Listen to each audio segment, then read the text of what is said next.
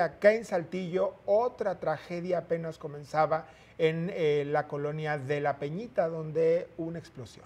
Sí, aparentemente se trata de una acumulación de gas y también esto vale la pena este, ponernos a todos como a, pensar y a revisar nuestras instalaciones, Rosalío, y, y, estar al pendiente de nuestra casa, porque ¿qué será? Alrededor de mes y medio, ¿te acuerdas? En zona centro, calle Guillermo Prieto, sí.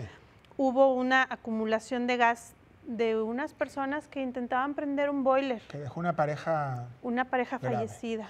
Sí, ellos, ellos fallecieron después de tiempo, entonces esto nos sirve para poner atención y, y vamos a conocer, ¿te parece esta historia?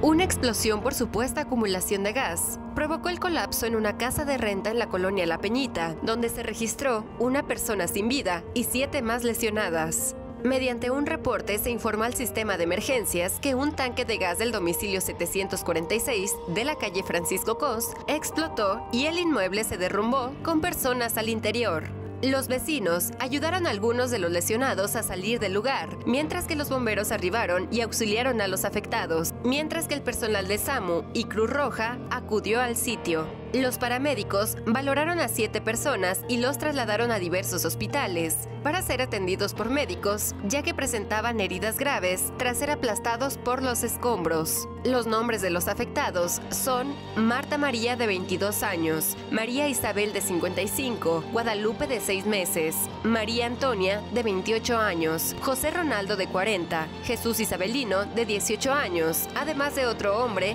de 35 años aproximadamente. Extraoficialmente se informó que todos los heridos rentaban habitaciones en dicho inmueble y que eran al menos cinco familias las que residían en el lugar. Además, la mayor parte de los lesionados provenían de Tabasco.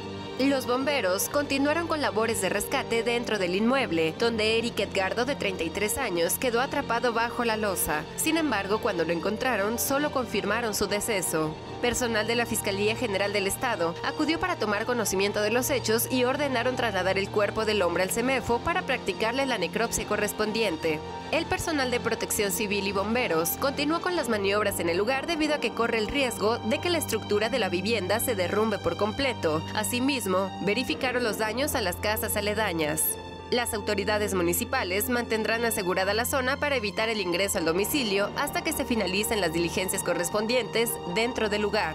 Con imágenes e información de Brenda Basaldúa para Telezócalo.